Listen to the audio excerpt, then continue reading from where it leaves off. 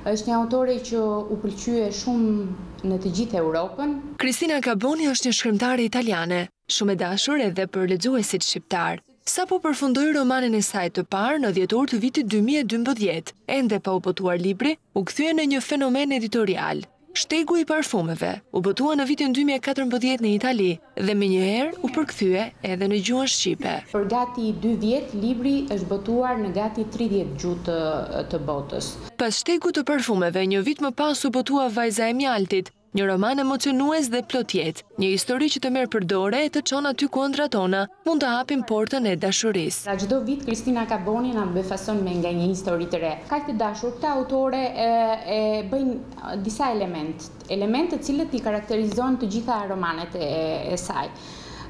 Janë gati magjikë. Dhe këtë autorja vetë e shpjegon me faktin që Sardenja dhe Cagliari, ku ajo jeton, janë vende magjike.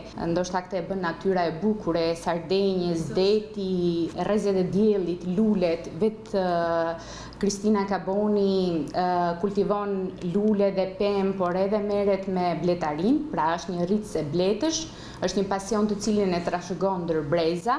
Romanet e saj, sikurse shikohet dhe kuptohet dhe nga titujt, janë romane delikat. Kopshti i luleve sekrete dhe libri më i fundit i saj, Libralidhësja e historive të humbura, gjithashtu janë përkthyer në shqip dhe sipas kryeredaktores Jeta Shyle, Tashmë Kristina Caboni ka krijuar lexuesin e saj besnik. Lexuesi shqiptar është dashuruar me shtegun e parfumeve dhe pastaj është shumë kureshtndjellës dhe shumë kurioz të njohë edhe librat e tjerë të kësaj shkrimtareje.